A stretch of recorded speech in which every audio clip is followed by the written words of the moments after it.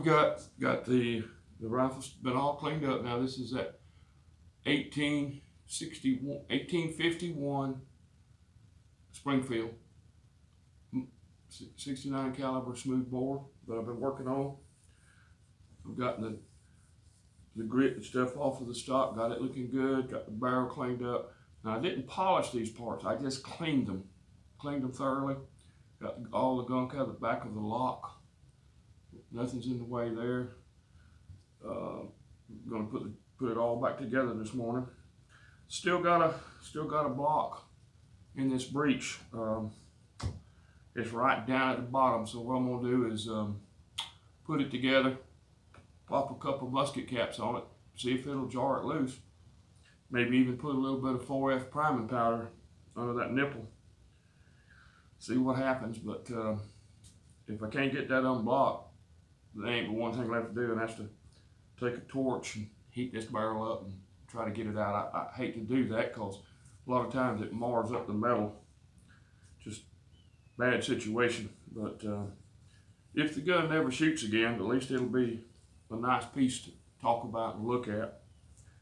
But um, we'll see what happens. We'll get it all put back together here this morning and pop a few caps on it, see if it'll jar that little bit of dirt, debris that's down that barrel. I've tried everything soaking. I can't get it anywhere loose, but uh, we'll see. Get it all back together.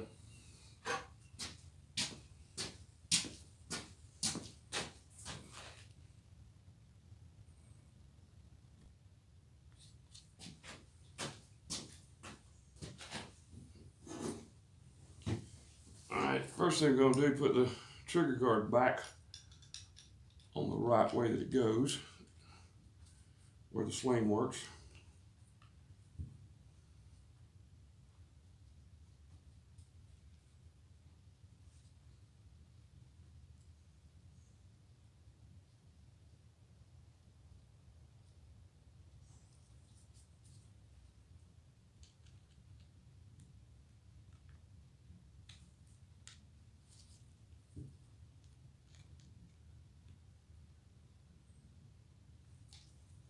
All right, that's got the swivel to the front where it belongs. On the sling.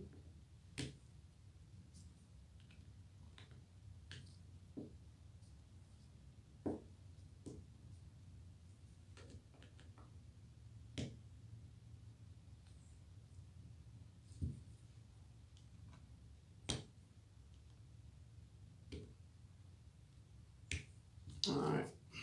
Let's get the butt plate back on first. We'll start the back. Work our way forward. All right, now I, I like to take and oil the back sides of all these parts as I'm assembling it.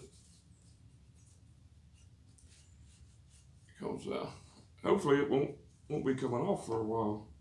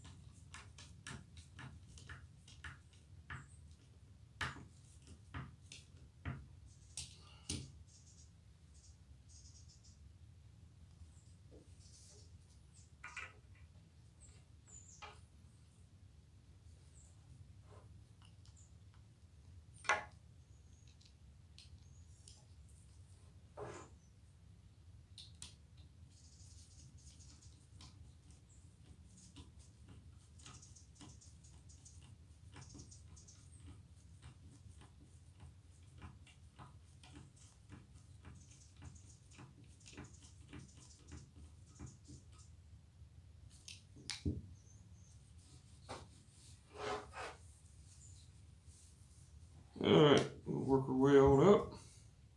Put our trigger assembly together.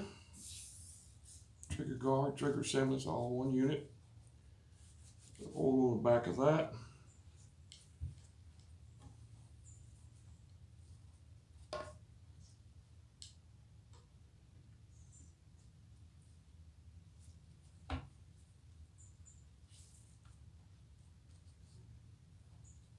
If you notice, these old screws, how coarse they are. I guess that was to make it easier to field strip, you know, the guns, because they get they they go in at a real rapid rate, more so than the modern wood screw we have that we use, you know, today.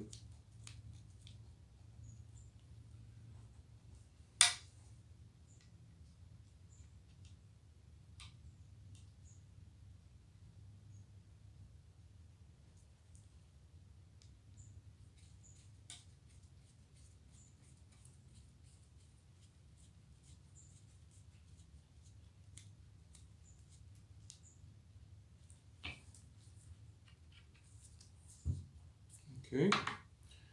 Next goes this end, the uh, plate, what your screws go through for holding the lock.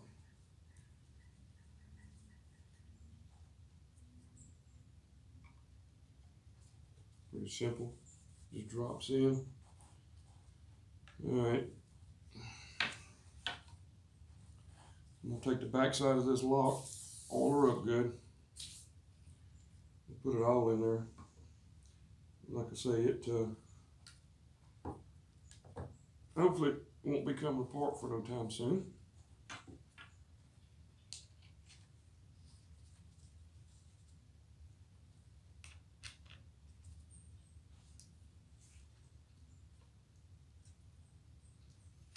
Tongue screw, not the bolt screw for the lock. There we go.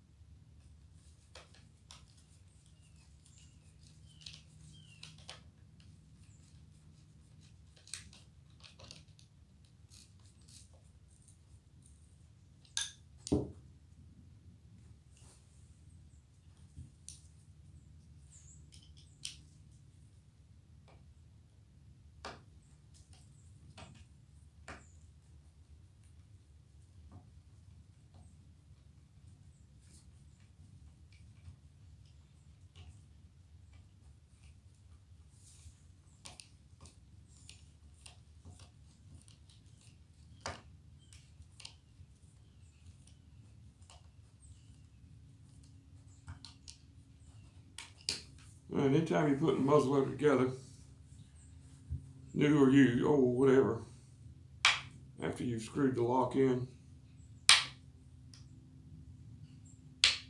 we'll make sure everything functions quite well. But sometimes these screws have to be tweaked a little bit, loosened, tightened. All right, now, all right, now we're going to drop our barrel in.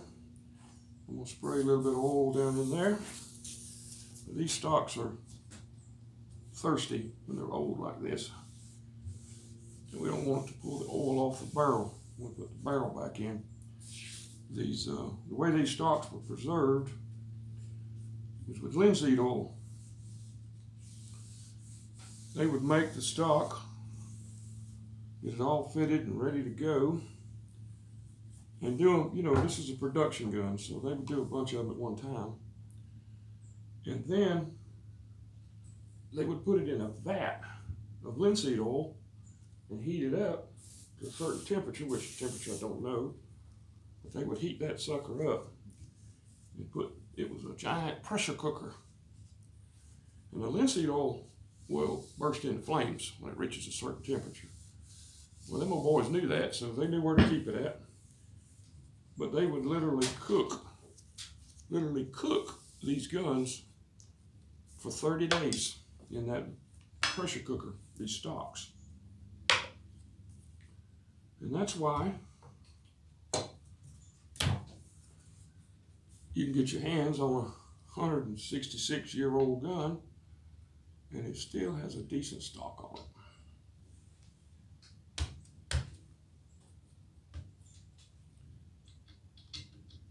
These guns were made for the battlefield. They done everything they could to make sure they were going to last.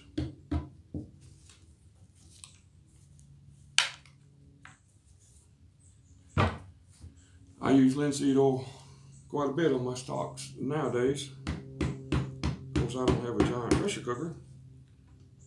But I took and uh, what I like to do is take uh, paraffin wax and linseed oil, heat it up.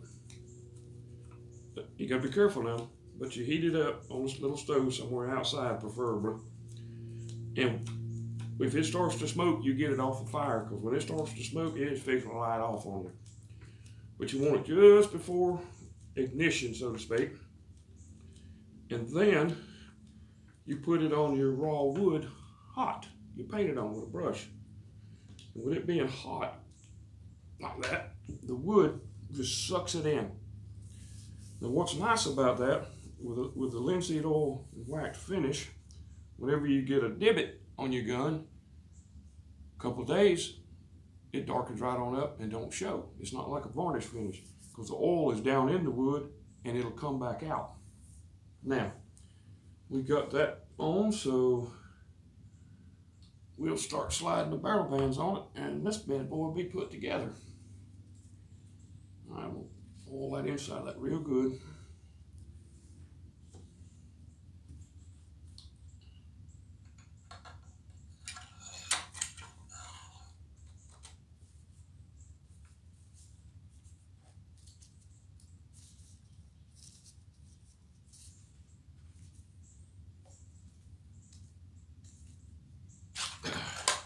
Backwards so go.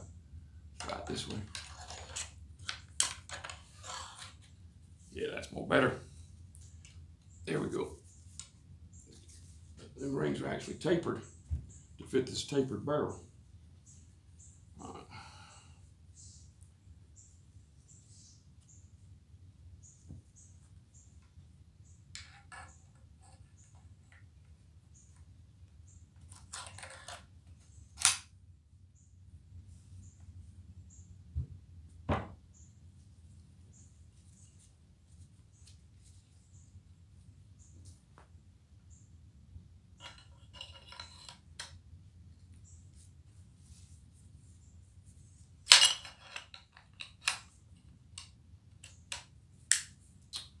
Pin right there goes to a hole. Finishes that up. All right. Well, she's all back together again.